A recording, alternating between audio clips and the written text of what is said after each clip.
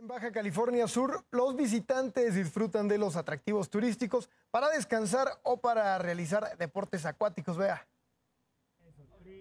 Durante estas vacaciones de verano, el destino turístico de Los Cabos en Baja California Sur ofrece una gran variedad de atractivos para los visitantes.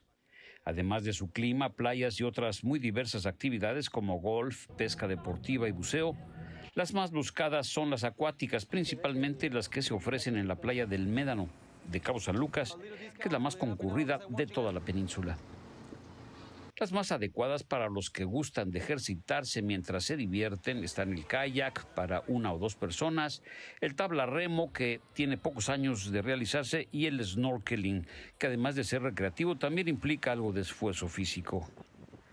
Ya puede ser libre aquí en la bahía o tenemos guiado eh, una o dos personas, dos horas si quieren también, tres horas, vamos al arco, a la playa del amor, eh, vemos todos los puntos importantes de aquí de la bahía. Para quienes prefieren actividades más divertidas está la banana, las motos acuáticas o el famoso parachute o parasailing para tener una extraordinaria vista aérea de la bahía de Cabo San Lucas. Alcanzamos una velocidad de 80 kilómetros por hora, eh, no tenemos ningún riesgo, la verdad la bahía es muy grande, tenemos un área específica para nosotros, vamos con un guía que nos cuida todo el tiempo.